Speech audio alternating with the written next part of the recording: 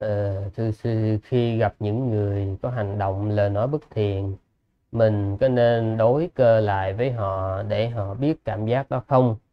Còn ví dụ như họ làm mình nhục nhã trước mặt nhiều người thì mình có nên làm lại giống vậy với họ để họ hiểu cảm giác và và sẽ không tái phạm nữa không?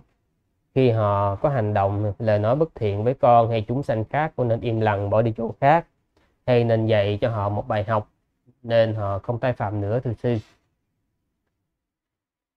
Trừ khi à, quý vị làm những công việc liên quan có trách nhiệm xét xử. Ví dụ như à, mình à, làm à, cảnh sát à, mình làm tòa án mình làm công tố viên thì đó là thuộc về cái trách nhiệm của mình. À, thuộc về trách nhiệm của mình. Cái nghiệp thì sư không có bạn ở đây nhưng mà nó thuộc về trách nhiệm của mình thì mình có cái lý do để mình làm cái chuyện đó. Còn ngoài ra thì như sư nói nghiệp trắng cho quả trắng nghiệp đen cho quả đen nghiệp có trắng có đen cho quả có đen có trắng.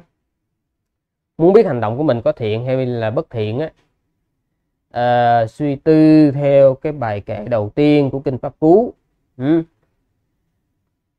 à, tâm dẫn đầu các pháp tâm làm chủ tâm tạo tác nếu nói hay hành động với tâm ý ô nhiễm, khổ não liền theo sâu như xe chân vật kéo. Tâm dẫn đầu các pháp, tâm làm chủ, tâm tạo tác.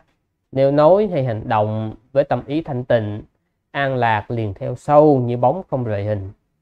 Khi quý vị đó có cái phản ứng lại, tự hỏi lòng mình, cái suy tư cho nó rõ ràng mình đang phản ứng bằng có cái tâm sân nó xuất hiện hay không?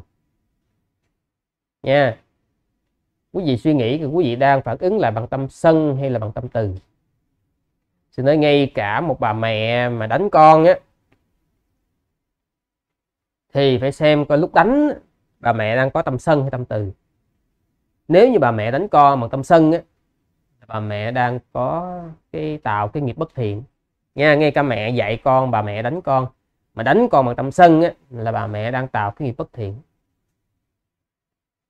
Mà đôi khi sư tự hỏi là nếu như bằng tâm từ thì giỏi lắm là mình dùng cái lời lẽ nghiêm khắc thôi chứ còn mà muốn đánh nó cũng khó. Khó thành ra đó quý vị phải suy nghĩ cho nó rõ ha, là hành động của mình vào lúc đó đó là quý vị hành động bằng tâm từ hay là hành động bằng tâm sân nếu như quý vị hành động bằng tâm sân dù là vì mục đích tốt thì nó cũng tạo ác nghiệp.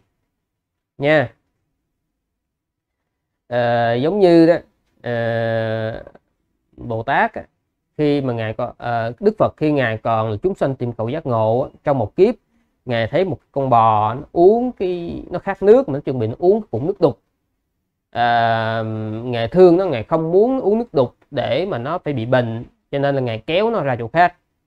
Nhưng mà khi ngài kéo con bò đi á, thì con bò nó ghi lại. Thành ra là ngài kéo nó có cái tâm sân xuất hiện. Mục đích của ngài mà là mục đích tốt nhưng mà ngài lại dùng cái tâm sân để ngài làm cái ờ, việc đó. Cho nên là khi đức thế tôn uh, chuẩn bị viên tịch đó, ngài khát nước. Do cái nghiệp hồi xưa đó ngài khát nước và ngài kêu ngài Ananda là lấy nước cho uh, Như Lai ngài Ananda ba lần từ chối bởi vì nước đục cho nên ngài Ananda là không có lấy Đấy. chính vì cái nghiệp hồi xưa đó cho nên là ngay cả khi Thế Tôn trở thành chánh đẳng giác rồi đó mà ngài vẫn phải trả cái ác nghiệp nha cho nên phải xem coi là mình hành động bằng cái tâm gì. Nếu như bằng tâm bất thiện thì tốt nhất là im lặng đi chỗ khác. Ừ.